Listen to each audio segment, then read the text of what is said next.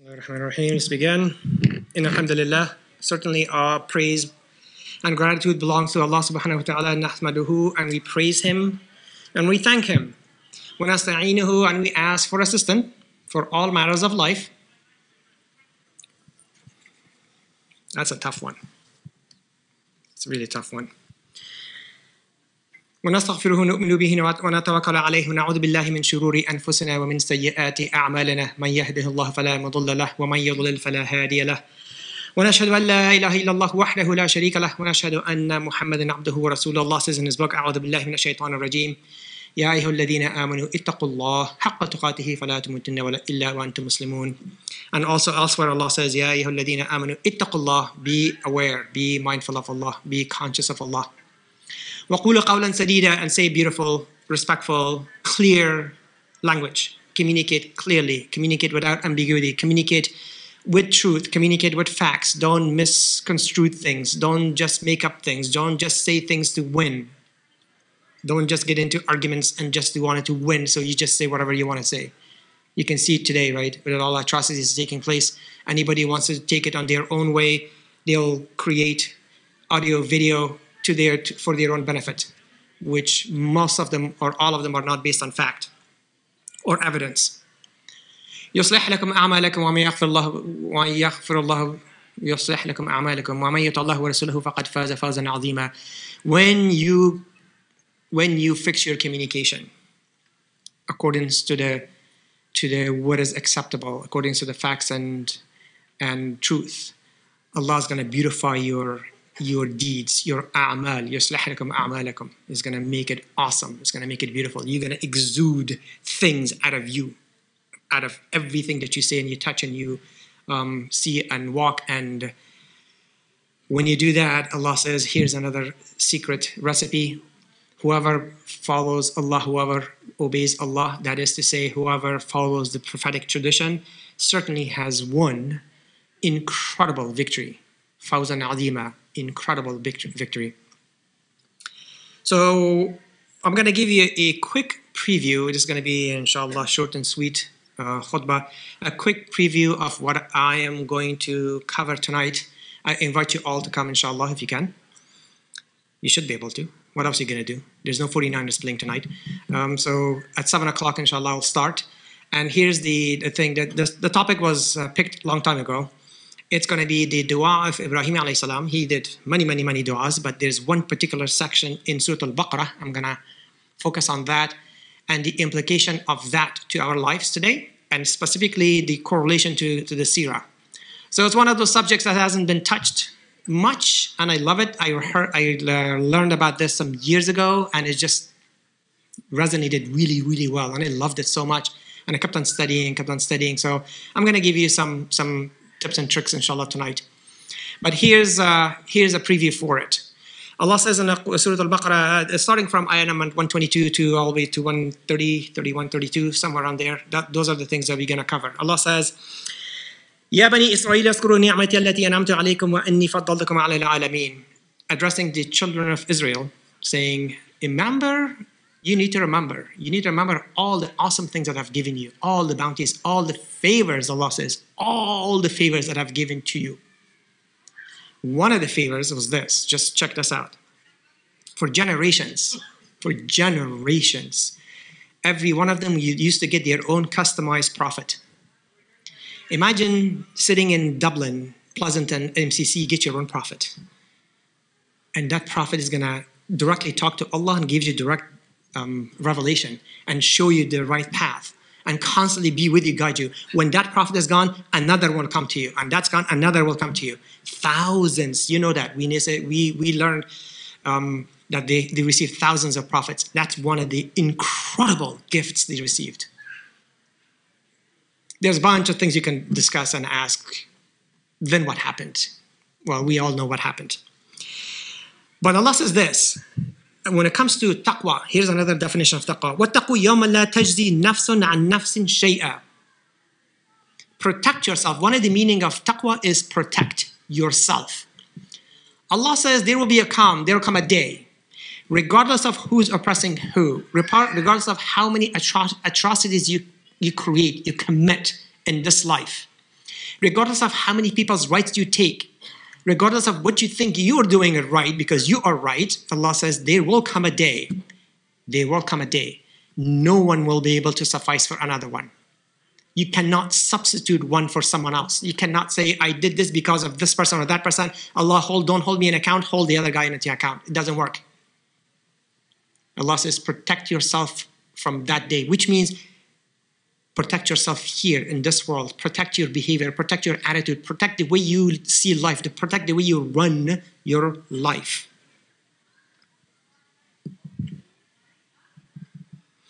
ولا يقبل عنها منها عدل and ولا تقبل ولا تنفعها شفاعة. There's two, there are two other things. It's really amazing. The, the country I came from, the land I came from, and also some of the other ones that I lived, this is really prominent. There are two things that are prominent, right? One is this. If you want to move ahead, if you want to do, if you want to do, do anything, get anything done, anything done. You want a telephone line in your house, you want a cell service, anything, you can do it. Uh, authority is not going to listen, to you. You do one of two things. Either you bring intercession, someone to intercede for you, someone to do wasata for you. And for they say wasata, I don't know what this is in Urdu or anything else. You bring someone, or you bring some cash with you. You bribe. Those two methods work. Well, we have the same thing here too in this country. The only thing is we legalized it and we put a beautiful name around it. We called it lobbying. And it's legal term for same thing bribing, for same thing doing a wasata, same, same concept.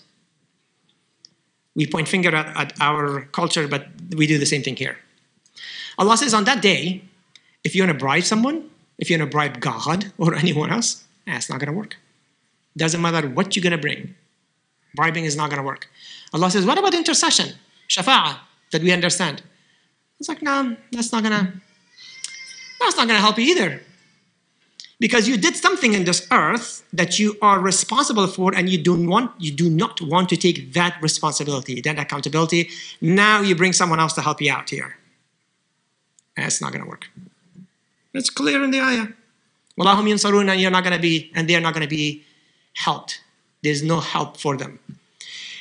You try to bring someone else to take your spot, that didn't work. You try to bribe, didn't work. This person tried to bribe, didn't work. This person tried to bring a shafa, intercession didn't work. You're not gonna get any help.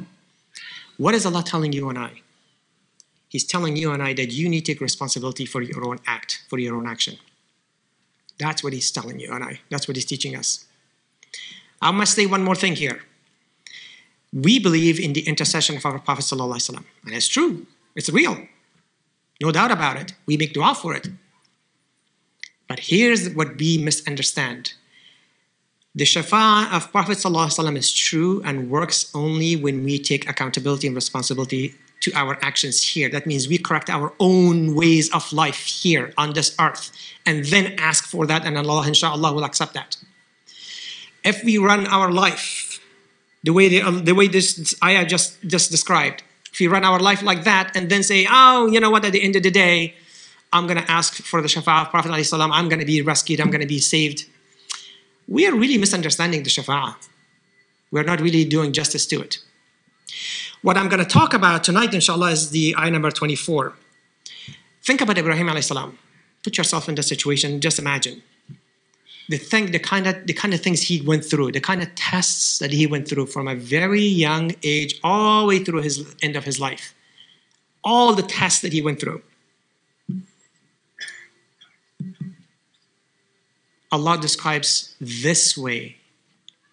Um, those of you understand Arabic, the Arabic um, linguistic breakdown of this word is just incredible. Allah says, وإذا ابتلى إبراهيم ربه بكلمات فأتمهن The whole thing is this فأتمهن in that word.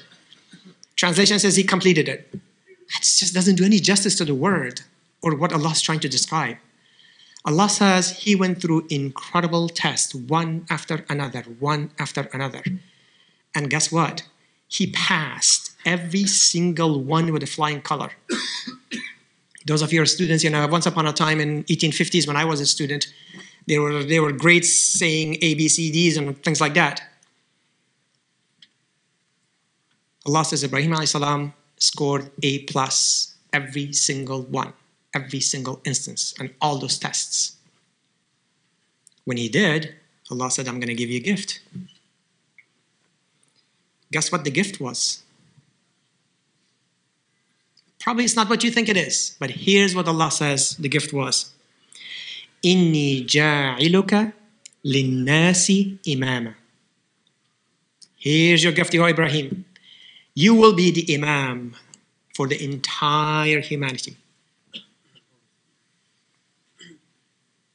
Imam of entire humanity. Um, what is Imam? That's the question. Ibrahim alayhi salam understood immediately what Imam is and what is the ramification of that. What does that mean? He understood immediately and he, he, he asked for something, which I'm going to discuss. But let's talk about what is Imam. To hold the title Imam today, you got to understand this is, this is just not a small thing. Yes, Imam means someone to lead. Imam is a leader. That's true. Imam is someone inspires you. Imam is someone guides you. Imam is someone holds your hand at every single step of the way. Imam is someone that is in every fabric of your life is involved to help you out to succeed. Imam is someone who knows the meaning of responsibility. Imam is someone who understands the accountability. Imam is the highest level of leadership you can imagine. All those books of leadership, all this LinkedIn learning leadership that you have learned, you studied, Imam is far, far more than any one of them. He understood that. He understood that this is incredible responsibility. On top of it, Imam for the entire humanity. Linnasi, not for your two kids and household and all that. No, entire humanity. It's not a simple thing. It's not a small thing. What does that mean? That means at the end of the day, Allah just said, protect yourself from that day in the last day. That means, as an imam, as a leader, he is responsible for everyone, for everyone from 10,000 years ago when he, when he was born until now, until ended time.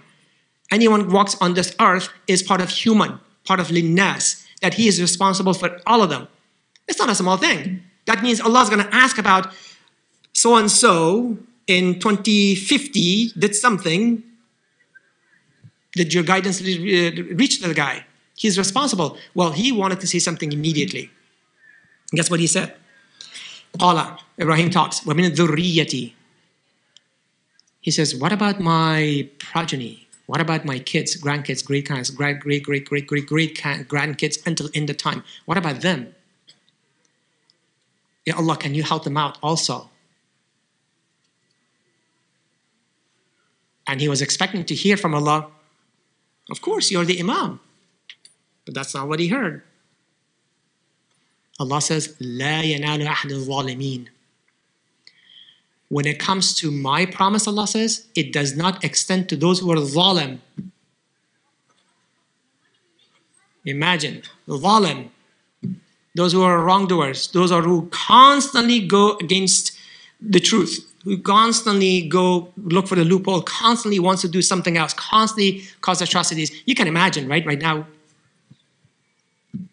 the, the gazillion names in your head comes from today's uh, today's uh, situations to whatever in the past history. Another word, Allah saying, from your progeny, there will be good ones, there will be really bad ones. Allah says, I'm not going to make the promise to you that I'm going to save every single one, including the bad ones. That's not going to, that's not going to be the case. It really shakes up Ibrahim alayhi salam. Really shakes him up. And he's like, from my progeny, and I'm going to be imam, I'm going to be responsible for all of them. Um, what does this mean for my imamship, for my leadership? and he's puzzled and he's like, hold on a second. You have asked me to build Kaaba. I'm going to build Kaaba and I'm going to modify my dua and I'm going to ask something else, which is what you're going to learn tonight, inshallah.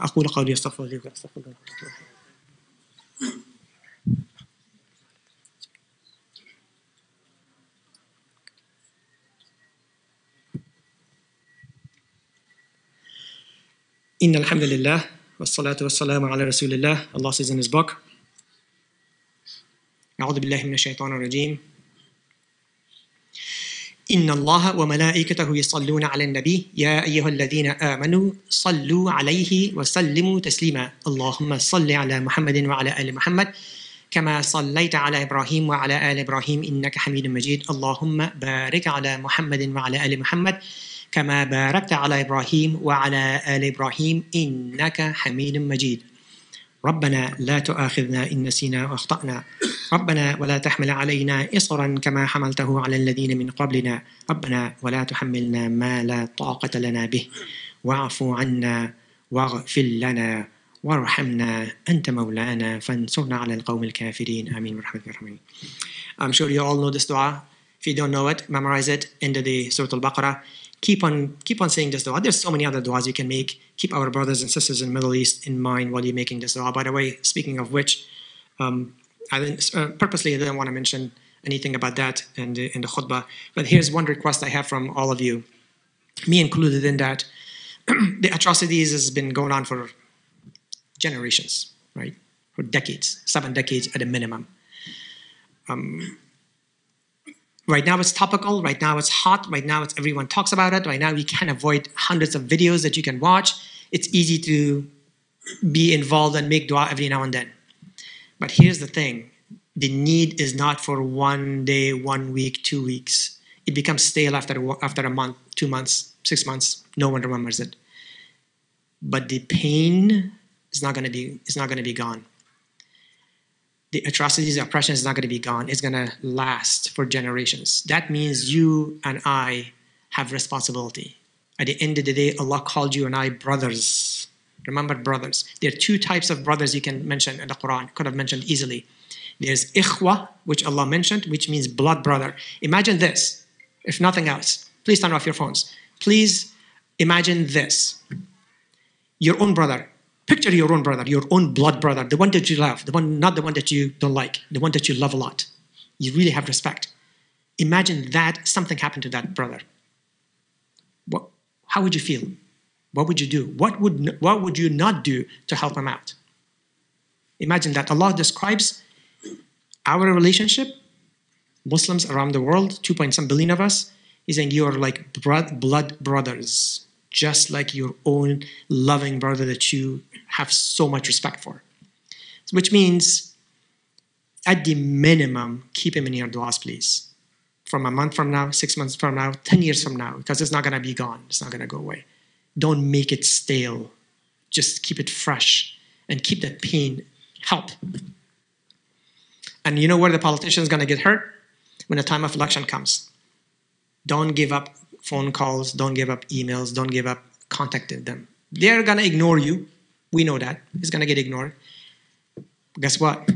When the election comes, that's when they're going to, that's going to, that's what's going to matter. And it will matter. And those elections happens every November. You know that. Let's, let's uh, end with this. Bismillah ar-Rahman ar-Rahim.